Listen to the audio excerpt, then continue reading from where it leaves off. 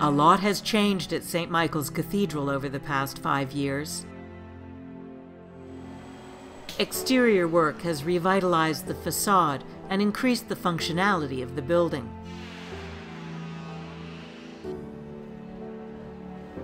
The basement has been excavated, and the construction of a new crypt chapel is well on its way to completion. And in one of the most important parts of the cathedral, the main nave has undergone an impressive transformation.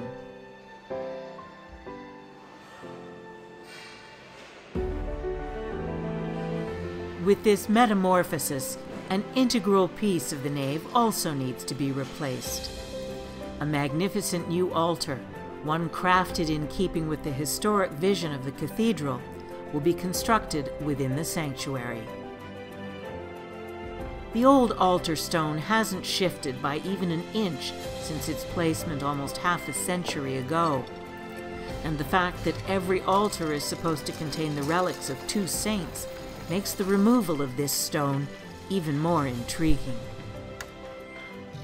There was only one archived document in the cathedral vault that referenced these sacred relics, so the anticipation of finding them and verifying what saints the relics come from runs high. Father Busch wouldn't miss this moment for the world. Right here. That's what I think it is. It's got writing on it. Relics from main altar. That's them. It's relics, pieces of bone from saints. And this is St. Peter, disciple of Christ, the first pope of the church, and the third pope, who I think is Clement, but I have to look it up. And we'll put this right back in the new one. They're in there. Good. I'll go put this in the vault. With the relics placed in a vault for safekeeping, the rest of the altar is disassembled to make room for the new one. Fast forward 14 months, the altar has been fully constructed within the sanctuary, and the time has arrived to place the cherished relics inside.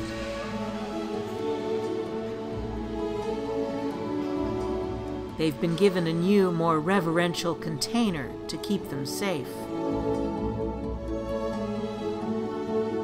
It's the relic of St. Peter and St. Clement.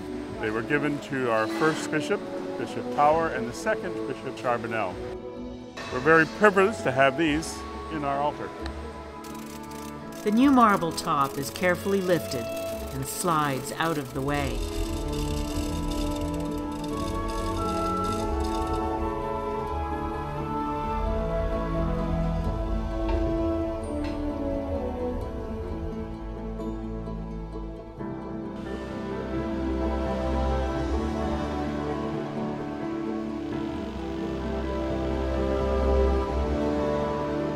And the relics are set inside their new resting place. The marble top is replaced with the relics safely tucked away.